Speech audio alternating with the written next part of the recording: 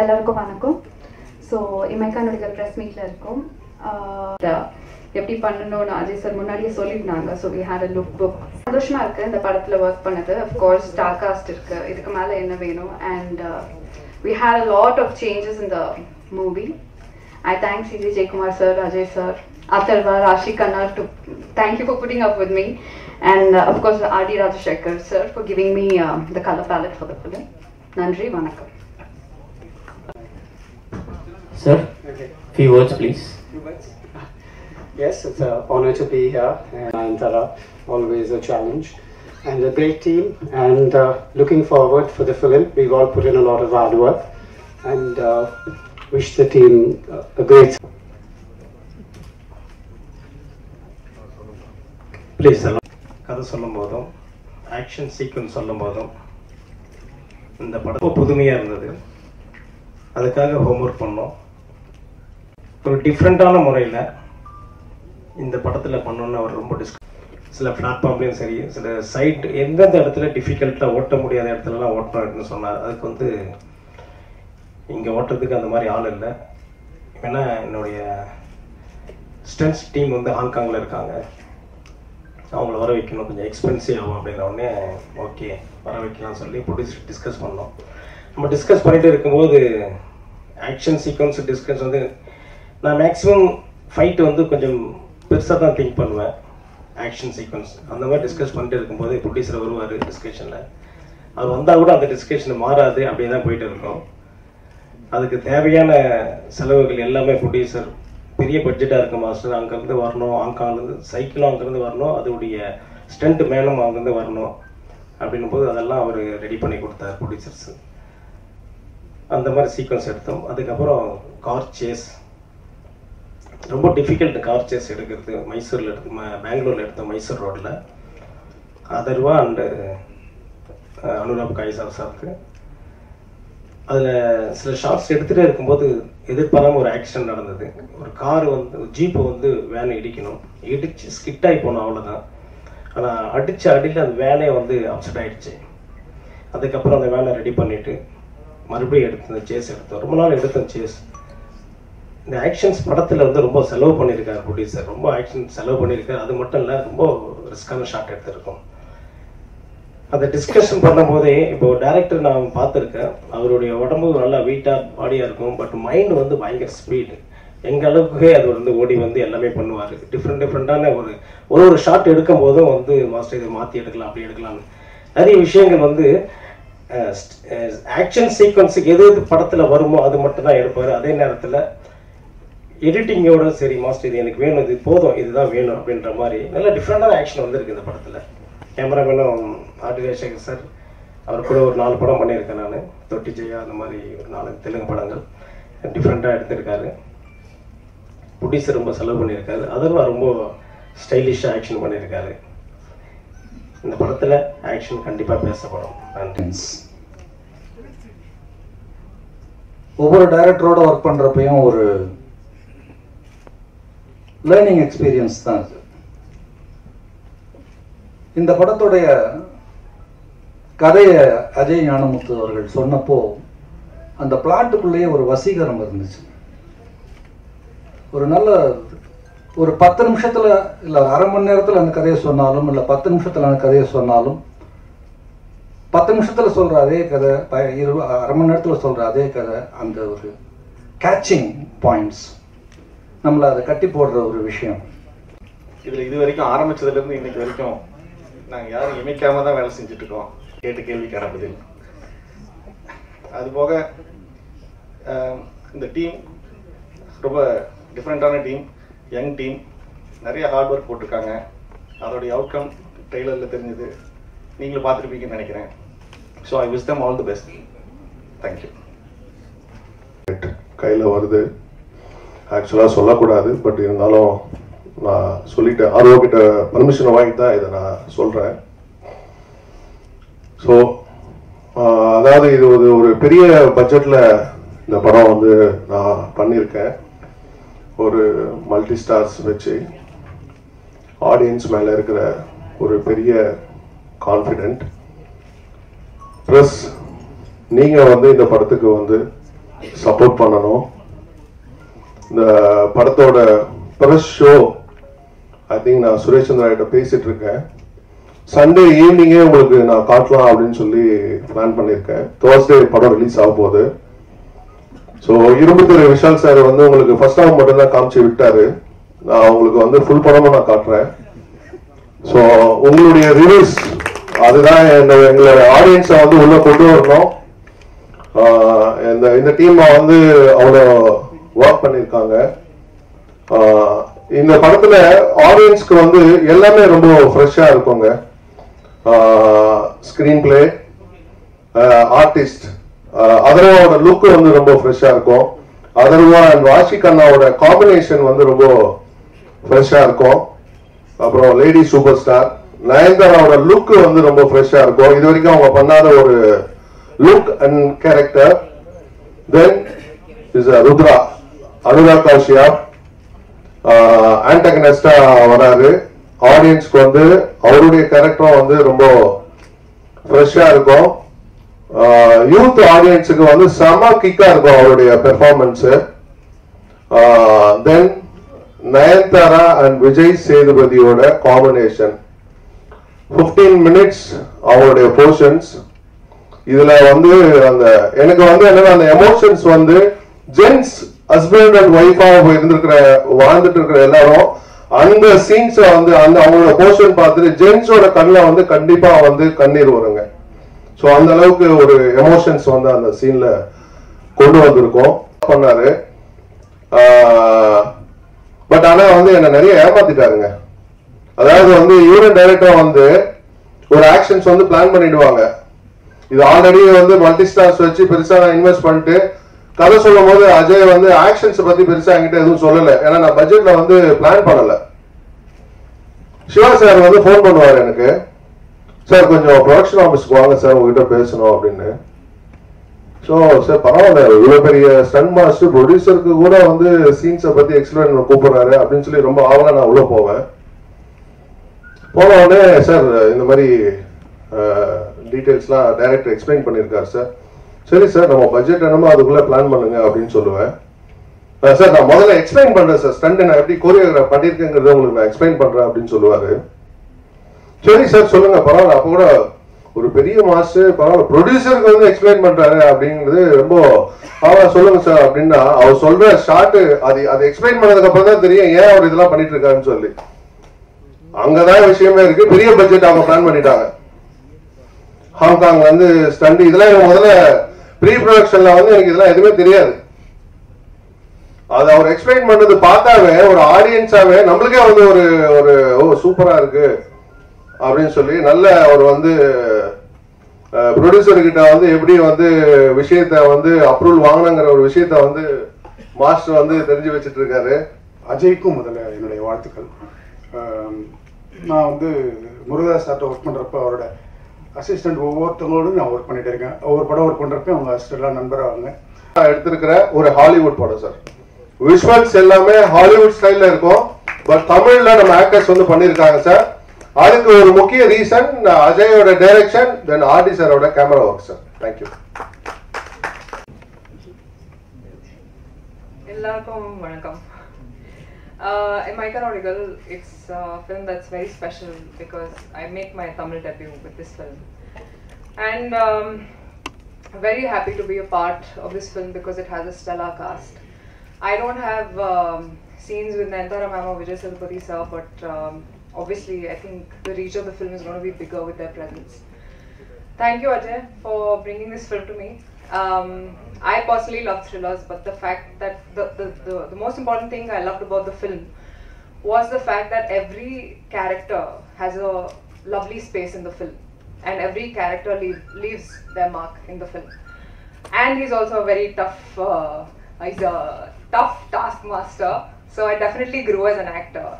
And Tamil being a very new language to me, I want to thank uh, the direction department for helping me a lot with my dialogues. And I remember Anurag's uh, on the first day and my first day, and we both were very scared like children, and we were like, oh my god, okay, we have these dialogues, and this is new to me. But I think uh, it was a smooth sailing thanks to Ajay and the entire direction department. Um, I want to thank Atharva for being a fabulous co-star. I had a lovely, lovely time shooting for this film and um, extremely hardworking. And I've seen him put his heart and soul into scenes, and especially the emotional ones. Uh, I couldn't have pulled it off without you. So thank you for being a wonderful co-star. Um, the entire team, I think, um, I'm blessed to be a part of this film. It has everything going, be it the music, uh, be it our producer who's always stood by his artists, be it the director, be it everything about this film. So it's very special to me, and our film is now yours to see. Uh, I hope you all love it uh, like we have loved making it. Thank you. Thank you so much. படத்தோட uh, இசையமைப்பில் அந்த பாடல்கள்லாம் வந்து ஒரு நல்ல reach வந்திருந்தாலும் இந்த படத்தோட பின்னணி இசை தான் இந்த படத்தோட நாங்கள் ரொம்ப ரசித்து ரசித்து ரசித்து பண்ணது இந்த பின்னணி இசை தான் இந்த பின்னணி இசைக்கு தேவைப்படுதுன்னு ஆல்பம் ரிலீஸ் ஆனதுக்கப்புறமும் இப்போ ரீசெண்டாக இன்னொரு ரெண்டு பாட்டு போட்டிருக்கோம் ஸோ அஜய் ப்ரோ கேட்டார் இன்னும் ரெண்டு பாட்டு இது பிரச்சனை இல்லை இங்கே ஜென்ரலாக இந்த மியூசிக் டைரக்டர்ஸ்லாம் பாட்டு தண்ணி ஆர்ஆர் தண்ணி அந்த மாதிரிலாம் ஒரு ப்ராப்ளம் இல்லை அப்படிங்கிறப்ப அது ஒரு ஒன்றரை நிமிஷம் தான் வந்தால் கூட ஒரு நிமி ஒரு பாட்டு வந்து மொத்தமே நாற்பது செகண்ட் தான் வருது. அது புதுசாக ஒரு பாட்டே போட்டோம். அப்புறம் ஏற்கனவே காதல் ஒரு ஆகாயம் பாட்டை வந்து இல்லை ப்ரோ இது படத்துக்கு வந்து இது வந்து பாட்டாக வச்சா வந்து எனக்கு பெரிய ப்ளஸ் தான். ஆனால் படமாக வந்து இதை இந்த பாட்டு கம்மியாக இருந்தாலும் தப்பு இல்லை. அப்படிங்கிற சாக்ரிஃபைஸ் பண்ணுறது இது எல்லாமே ஒரு மியூசிக் டைரக்டராக பார்க்குறப்ப வந்து பாட்டு எக்ஸ்ட்ரா போடுறோம் ஏற்கனவே இருக்கிற பாட்டை குறைக்கிறோம் அப்படியெல்லாம் தாண்டி இந்த படம் வந்து வேற இந்த படத்துக்கு வேற எதுவுமே பண்ண முடியாது. அந்த ஒரு இடத்துல கொண்டு வந்து நிக்க வச்சிட்டாரு. இது அஜய் என் நண்பனுங்கிறனால மட்டும் சொல்ல நான் இந்த படத்தினால அஜயோட ரசிகனா மாறினதுனால சொல்றேன். டிமாண்டின்ற ஒரு படம். அந்த படம் முடிச்சதுக்கப்புறம் நான் வந்து பயந்தேன். முடிஞ்சிச்சு நம்ம லைஃபு முதல் படம் வர்றதுக்கு முன்னாடி நம்ம லைஃப் நம்ம முடிச்சுக்கிட்டோம். இது அவ்வளோதான் அப்படின்னு நான் பயந்த ஒரு படம். அந்த படம் வந்து ரிலீஸ் ஆகி ஒரு சக்ஸஸ் ஆகுது. அதை வந்து ஆடியன்ஸ் லைக் பண்ணுறாங்க அதை நீங்கள் கொண்டு போய் ரீச் பண்ணது. இதை வந்து நான் ஒரு பெரிய பிளெஸ்ஸிங்காக எடுத்துக்கிட்டேன். ஸோ இந்த சான்ஸ் எல்லாருக்கும் கிடைக்குமான்னு தெரியாது. இது வந்து இது நான் வந்து அந்த சக்ஸஸை ஒரு அதை தலைக்கு எடுத்துக்கல. அதை வந்து நமக்கு கிடைச்ச அடுத்த வாய்ப்பு இது. திரும்பி நம்ம இந்த இடத்துல வந்து நின்றக்கூடாது அப்படின்ற ஒரு மைண்ட் செட்டில் மட்டுமே தான் நம்ம கெரியர் இனிமேல் பார்க்குறோன்றது ஒரு இதில் மூவ் பண்ணி செகண்ட் ஃபிலிமில் நம்ம அந்த பயம்ன்றது ஒரு துளி கூட இருந்துடக்கூடாது ரிலீஸுக்கு முன்னாடி நமக்கு. அடுத்தடுத்த படங்களில் அப்படின்ற மைண்ட் செட்டில் தான் இந்த படம் பண்ண ஆரம்பிச்சது. ஸோ உங்களோட சப்போர்ட்ன்றது அவ்வளோ இருந்திருக்கு. நான் வந்து இங்கே இருக்கிற ஒரு ஒருத்தரோட ரிவ்யூ ஒரு ஒருத்தர் என்ன எழுதுனீங்க என்ன பேசுனீங்கன்றது வேர்டு வேர்டாக என்னால் சொல்ல முடியும். அது நிறையா விஷயங்கள் நான் எடுத்திருக்கேன் நிறையா விஷயங்கள் கரெக்ட் பண்ணியிருக்கேன். அண்ட் இது வந்து ஒரு ஒரு லேர்னிங் நான் வந்து இது எத்தனை படம் பண்ணுறோன்றதை தாண்டி இது- இது கடைசி வரைக்கும் இது வந்து ஒரு லேர்னிங் ஒரு லேர்னிங்க்கான ஒரு விஷயமா பார்க்கணும்னு நினைக்கிறேன். ஸோ இந்த படமும் பார்த்துட்டு உங்களோட உங்களுக்கு பிடிச்ச விஷயங்கள் பிடிக்காத விஷயங்கள் எல்லாத்தையும் சொல்லுங்கள் உங்களுக்கு பிடிக்காத விஷயங்களை அதே மாதிரி நான் அடுத்த படத்தில் டெஃபினட்டாக கரெக்ட் பண்ணிக்குவேன். ஸோ ஃபர்ஸ்ட் தேங்க்ஸ் உங்கள் எல்லாருக்கும். தென் பூர்த்தி படம் வந்து பண்ணும்போது காஸ்டியூம்ஸ் வந்து ஜெனரலாக என்ன பண்ணுவாங்கன்னா பெரிய ஆர்டிஸ்ட் வரும்போது ஒரு ஒரு ஆர்டிஸ்ட் ஒரு ஒரு டிசைனரோட வருவாங்க. ஸோ அவங்கவுங்க ஒரு தனித்தனி டிசைனர்ஸ் இருப்பாங்க. எல்லாருமே அவங்கவுங்க காஸ்டியூம்ஸை டிசைன் பண்ணிப்பாங்க. ஒரு சீனில் வந்து நிற்பாங்க நிற்கும் போது என்ன ஆயிடும்னா சம்டைம்ஸ் ஒரு ஒருத்தர் ஒரு ஒரு கலரில் இருப்பாங்க. காஸ்டியூம்ஸாக இருக்கட்டும். இல்லை எல்லாருமே ஒரே கலரில் வந்து நிற்பாங்க இல்லை அவங்க விருப்பப்பட்ட ஏதோ ஒன்று அப்படி ஒன்று போகும். ஸோ அது வந்து பண்ணக்கூடாது. நமக்கு வந்து ஒரே ஒரு டிசைனர் அந்த ஒரே டிசைனர் வச்சு எல்லாருக்கும் பண்ணும்போது என்ன ஆகிடும்னா ஒரு ஒரு டிசைனுக்கு நாங்கள் லுக் புக்ஸ்னு ஒரு விஷயம் இருக்குது ஸோ அது அதுவே வந்து ஒரு கிட்டத்தட்ட ஒரு புக்கு போடணும். ஸோ ஒரு ஒரு கேரக்டருக்கும் இந்த சீனில் இந்த கேரக்டர் என்ன ட்ரெஸ் பண்ணும்? இந்த சீனில் இந்த கேரக்டர் என்ன ட்ரெஸ் பண்ணும்? இந்த ரெண்டு கேரக்டரோட காஸ்டியூம் ஒரே காஸ்டியூம் கலராக இருக்கக்கூடாது. கலர் கிளாஷஸ் இருக்கக்கூடாது. ஆரி சரோட உட்காந்து கலர் பேலட்ஸ் என்ன?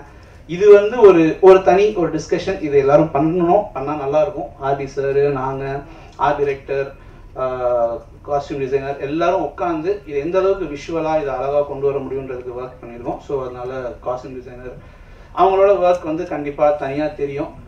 வாழ்க்கையில இல்ல நம்ம செய்யற விஷயத்துல நிறைய அப்ஸ் அண்ட் டவுன்ஸ் இருந்தா ஒரு ரோலர் கோஸ்டர் ரைடு அப்படின்னு சொல்லி சொல்லுவாங்க. இமைக்கா நொடிகள் வந்து அதையும் தாண்டி வேற ஒரு ரைடு இருந்தா அதுதான் இமைக்கா நொடிகள். ஏன்னா உண்மையிலேயே படம் ஸ்கிரிப்டாவும் சரி படம் எடுத்த விதமும் சரி அந்த மாதிரி ஒரு எக்ஸ்பீரியன்ஸ் இது. நிறைய எங்க share of ups and downs இருந்திருக்கு இந்த படத்துல. பட் அதெல்லாம் தாண்டி இன்னைக்கு போய் ஒரு ப- இந்த படத்தை போய் பார்க்கும்போது உண்மையிலேயே ஒரு ரொம்ப ஒரு சந்தோஷமான விஷயமா இருக்கு. ஏன்னா ஒரு ஒரு மெயின் ஸ்ட்ரீம் கமர்ஷியல் ஃபிலிம் பண்றது ஒண்ணு இந்த மாதிரி ஒரு மல்டி ஸ்டாரர் ஃபிலிம் பண்றது ஒண்ணு. பட் ரெண்டு கலந்த ஒரு படம் அண்ட் அதுல ஒரு புதுசா ஒரு எக்ஸ்பீரியன்ஸ் புது புது இமோஷன்ஸ் சொல்லக்கூடிய ஒரு வாய்ப்பு. இதெல்லாம் இமைக்கானுடைய எனக்கு அமைஞ்சது. அண்ட் அதுக்கு முத நன்றி வந்து அஜய் தான். ஏன்னா அஜயோட ஸ்கிரிப்ட் அஜய் சொன்ன மாதிரி இந்த ஸ்கிரிப்ட் இப்போ கேட்டு இமீடியட்டாக ஒரு சிக்ஸ் மந்த்ஸில் ஷூட்டிங் போயிட்டு முடிச்சுட்டு வந்த ஸ்கிரிப்ட் கிடையாது. இது வந்து கிட்டத்தட்ட சொன்ன மாதிரி டூ தௌசண்ட் தேர்ட்டீனில் வந்து எனக்கு நரேட் பண்ண ஒரு ஸ்கிரிப்ட் ரொம்ப ஆசையோடு இருந்தேன் இந்த ஸ்கிரிப்ட் பண்ணி ஆகணும். ஏன்னா ஒவ்வொரு படம் சைன் பண்ணும்போதும் நான் வந்து சொல்லிட்டே இருப்பேன். சரி அடுத்து வந்து அஜயோட ஸ்கிரிப்ட் பண்ணலாமா? நல்லா இருக்கும் அப்படின்னு சொல்லி பட் அந்த டைம்ல எங்களுக்கு அந்த வாய்ப்பு கிடைக்கல. நிறைய கன்ஸ்டன்ஸ் இருந்தது. பட் ஒரு விஷயத்துல மட்டும் நானும் அஜய் ரொம்ப தெளிவா இருந்தோம். என்னானாலும் எந்த காம்ப்ரமைஸோட இந்த படம் பண்ணிடக்கூடாது. நம்ம என்ன நினைக்கிறோமோ அந்த அந்த அந்த அளவுக்கு இந்த படம் எடுக்க முடிச்சா இதை பண்ணுவோம். இல்லைன்னா இப்போ தொடவே வேணாம் அப்படின்ற ஒரு இதுல இருந்தேன் அண்ட் அதுக்கப்புறம் அஜய் வந்து டிமாண்டிக் காலனி பண்ணாரு. அதுக்கப்புறம் திருப்பி வந்து மீட் பண்ணும்போது ஒரு கரெக்டான ஒரு விஷயமா அமைஞ்சது. சரி ஓகே இந்த படம் இப்போ வந்து கரெக்டான டைமா இருக்கு. இப்போ பண்ணலாம் அப்படின்னு சொல்லும்போது நிறைய வந்து திருப்பி அலைச்சல் இருந்தது. நிறைய பேர்கிட்ட எல்லாருக்கும் தெரியும்னு நினைக்கிறேன். ஒரு half of the story at least தெரிஞ்சிருக்கோம். பட் அதுக்கப்புறம் வந்து ஜெயக்குமார் சார் வந்து பண்றேன் அப்படின்னு சொல்லி தைரியமா வந்து இறங்குனாரு. ஏன்னா இது வந்து ஒரு ஒரு சின்ன ஸ்கேல்ல பண்ணக்கூடிய படம் கிடையாது. இது வந்து டே ஒன்ல இருந்து இது வந்து பெரிய லார்ஜ் ஸ்கேல்ல பண்ணக்கூடிய ஒரு படம். ஸோ அதை நம்பி இறங்குனாரு ஜெயக்குமார் சார் அண்ட் uh, நாங்களே வந்து நிறைய விஷயம் நமக்கு இந்த டெக்னீஷியன்ஸ் வேணும் அந்த டெக்னீஷியன்ஸ் வேணும் அண்ட் இந்த ஆர்டிஸ்ட் இருந்தால் நல்லா இருக்கும் அப்படின்னு சொல்லி நிறைய விஷயம் எங்களுக்குள்ளேயே இருந்தது. பட் அதெல்லாம் தாண்டி அதை விட எக்ஸ்ட்ராவாக கொடுத்தது தான் ஜெயக்குமார் சார் ஸோ முத நன்றி அவருக்கு தான். ஏன்னா தைரியமா இறங்கி இந்த ஸ்கிரிப்டை நம்பி பண்ணார் அவர். அண்ட் uh, um, uh, உண்மையிலே சொல்லணும்னா ஆஹ் எனக்கு இண்டஸ்ட்ரிக்கு வரும்போது நிறைய ஆர்டிஸ்டோட நிறைய ஆர்டிஸ்ட் நிறைய டெக்னீஷியன்ஸோட ஒர்க் பண்ணணுன்ற ஆசை இருந்தது. அந்த லிஸ்ட்ல வந்து கண்டிப்பாக கண்டிப்பா நயன் மேம் இருக்காங்க. இவங்க ஆதி ராஜசேகர் சார் இருக்காரு. and அனுராக் கஷ்யப் சார்லாம் உண்மையிலேயே எனக்கு ரொம்ப பிடிச்ச ஒரு டேரக்டர் ஏன்னா பரதேசி நான் பண்ணும்போது நார்த் இந்தியாவில் அவரு வந்து பரதேசியை எனக்கு வந்து ப்ரமோட் பண்ணி விட்டாரு. ஸோ அவர் வந்து திருப்பி என் படத்தை வந்து நடிக்கிறாரு அப்படின்னு நினைக்கும் போது உண்மையிலேயே ரொம்ப சந்தோஷமா இருக்கு. அண்ட் இந்த மொத்த டெக்னீஷியன்ஸும் மொத்த டெக்னீஷியன்ஸும் காஸ்ட்டும் வந்து ஒரே படத்தை அமையிறது உண்மையிலேயே ஒரு சந்தோஷமான விஷயம். So thank you so much and Rashi திருப்பி அவங்களுக்கு கண்டிப்பாக ஒரு ஒரு மிகப்பெரிய இடம் இருக்கு அப்படின்ற ஒரு நம்பிக்கை எனக்கு இருக்குது தமிழ் சினிமாவில் so again welcome to the Tamil film industry stunts பற்றி சொல்லியாங்க இன்னைக்கு எல்லாருமே ஸ்டன்ஸ் பற்றி பேசுறாங்க. இப்போ அஜயும் சொன்னார் அந்த ஸ்டேர் கேஸ் இன்சிடென்ட்டை சொன்னார். இதுதான் உண்மை. ஏன்னா வந்து எனக்கும் சொல்லலை அவர். ஏன்னா ஒவ்வொரு நாளும் சர்ப்ரைஸாகவே இருக்கும். என்ன பண்ண போகிறாங்கன்னு அவங்களுக்கும் தெரியாது எனக்கும் தெரியாது. செச்சுக்கு போய் நிற்பாங்க புதுசாக எதுனா ஒன்று நடக்கும். ஸோ ஸ்டேர் கேஸ் அப்படின்னு சொல்லி போய் மேலே நின்னாங்க. அண்ட் இப்போ தான் சொன்னார் என்ன நடந்தது அப்படின்னு சொல்லி. பட் ஒரு விஷயம் அவர் சொல்ல மறந்துட்டாரு. அங்கே அங்க வந்து பதினஞ்சாவது மாடியில என்னை ஏத்தி விட்டாங்க. அங்க வந்து ஒரே ஒரு ரோப்ல தான் நான் தொங்கிட்டு இருந்தேன். ஸோ தொங்கிட்டு அங்க இருந்து இறங்கி இறங்கி வரணும். ஸோ அது பார்க்கும்போதே ஃபர்ஸ்ட் எனக்கு என்னடா பண்ண போறோம் அப்படின்னு சொல்லி அந்த மாதிரி ஒரு ஃபீல் இருந்தது. அதுக்கப்புறம் சரி ஓகே பாரத்தை இவங்க மேல போட்டு போயிடுவோம். போய் பண்ணுவோம். என்ன நடக்குதோ பார்த்துக்கலாம் அப்படின்ற ஒரு நம்பிக்கையில போயிட்டேன்.